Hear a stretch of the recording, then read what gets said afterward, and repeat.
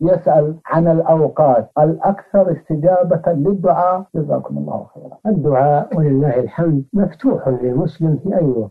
فقال ربكم ادعوني أستجب لكم ولم يحدد وقتا من ليل أو نهار لكن هناك أوقات يكون الدعاء فيها أقرب إلى الإجابة وذلك مثل آخر الليل وقت النزول الإلهي حين يبقى ثلث الليل الآخر. وكذلك في حالة السجود في الصلاة قال صلى الله عليه وسلم وأما السجود فأكثروا فيه من الدعاء فقمن أن يستجاب لكم. كذلك في ساعة يوم الجمعة فإن الدعاء فيها مستجاب لمن وفقه الله وصادفها وكذلك في ليلة القدر الدعاء مستجاب فيها لمن وفقه الله لإدراكها والدعاء فيها وقيامها. فهذه أوقات فيها فيها تأكيد قبول الدعاء. وإلا فالدعاء إذا توفرت شروط الإجابة فيه فإنه مستجاب في كل وقت. نعم.